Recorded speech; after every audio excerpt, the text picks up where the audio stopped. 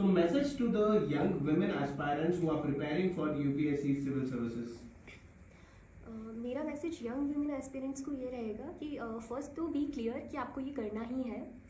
I have seen कि uh, लड़कियों को के ऊपर बहुत प्रेशर होता है कि मुझे दो साल में ही करना है मैं ज़्यादा डेली में स्टे नहीं कर पाऊँगी पेरेंट्स इन्वेस्ट नहीं करेंगे।